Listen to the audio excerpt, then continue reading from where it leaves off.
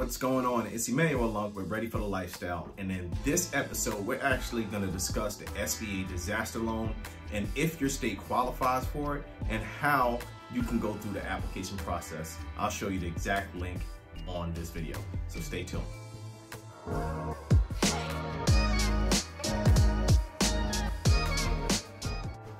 Welcome back. And if this was your first time, thank you for tuning in. Don't forget to hit the like and subscribe button and comment below. Please let me know if this information is relevant to you. And also, if you want to, you can tell me exactly what content you probably would like to see or answers to questions that you may have.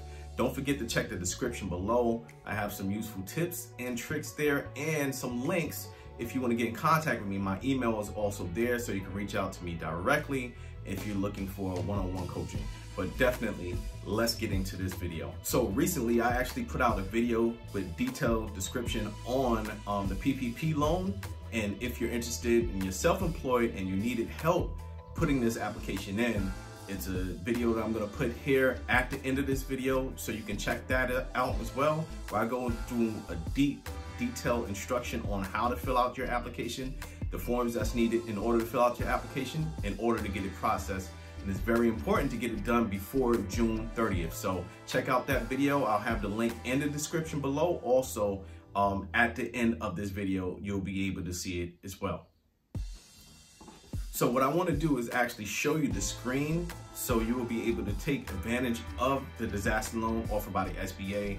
But very important that you at least see exactly what they have going on because I believe in the lending terms that they have.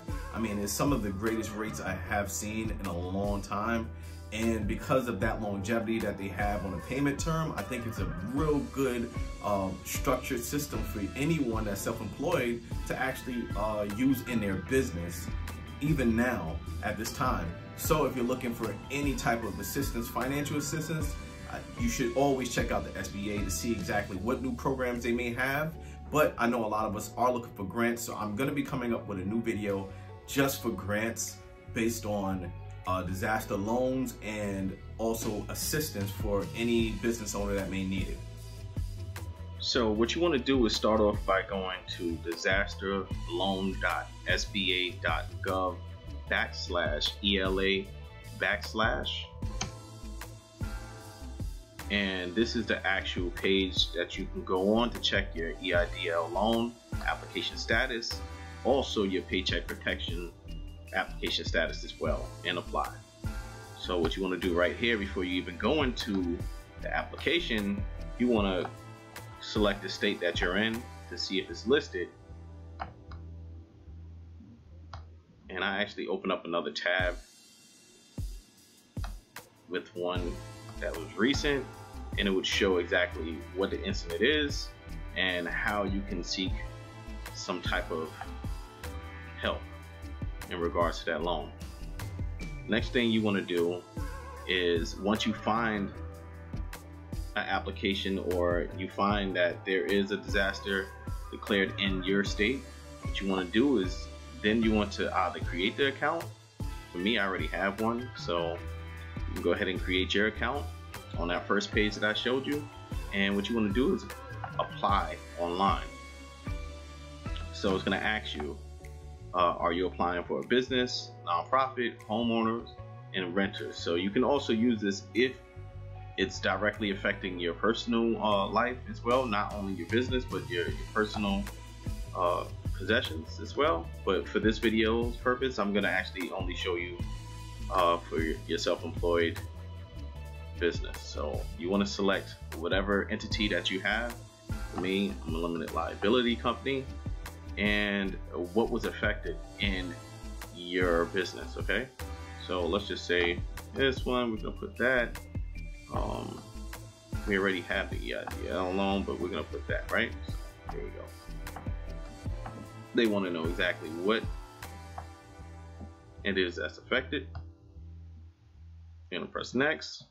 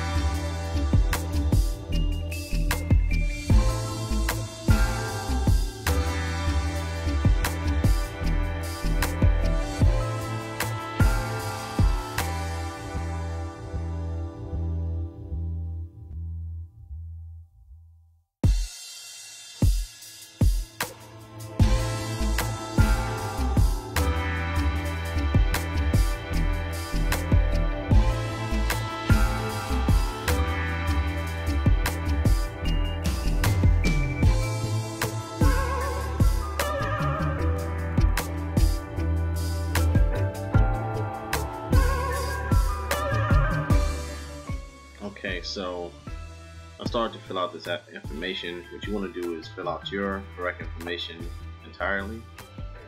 And you want to go down here, make sure all of this information in because this is how they verify you as well. And this is going to be very important.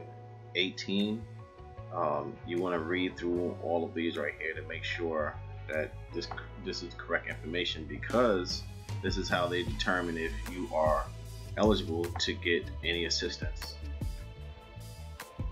Scroll down here and like I said, read through it thoroughly so you can select items that pertain to you.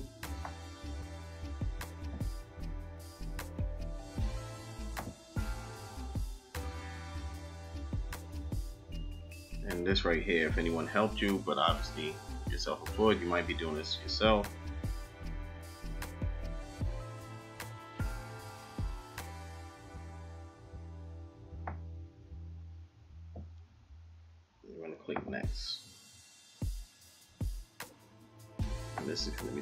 Page right here on this section. And if you wanted to add any other information, but um, you can leave this blank as well. Okay. Sorry, because oh, hold on, give me one second. This is also something that you might want to change as well. Any affiliated business. So that's because we we selected that we we had an affiliated business. Let's, let's go back here. And we're gonna remove this right here because th that makes the application process a lot more longer. And what you want to do is actually start all of these right here. So just to be brief on this, you want to if you have your your personal financial statement you want to get that done as well. Any schedule liability so if you've done any of your your documentation stating your your losses and um, any liens against your your company you want to put this these documents in there. Um, they're going to give you an option to upload and also fill in the information but you I would you know probably commit to filling out this information prior and then uploading it and your, your tax transcript as well. Um, they're going to ask for prior years. So whoever is involved, if it's a single member, you want to go ahead and fill that out. Um, once you complete all of these sections right here, this will be probably the last thing that you have to do is submit this application with supporting documents and your application will be done. And if anything, they will get back to you most likely through email first and schedule a call after. So that's all I have on this quick video. Don't forget to check out the latest video that I put out for the PPP loan. And it's perfectly for anyone who's self-employed. I go through the entire process, the application, the forms that's needed in order to fill yours.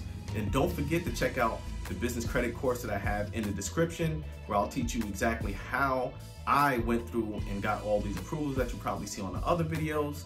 And don't forget to like, subscribe, and comment below. Let me know if there's anything or questions I may need to answer for you guys that you're looking forward to hearing. Thanks again.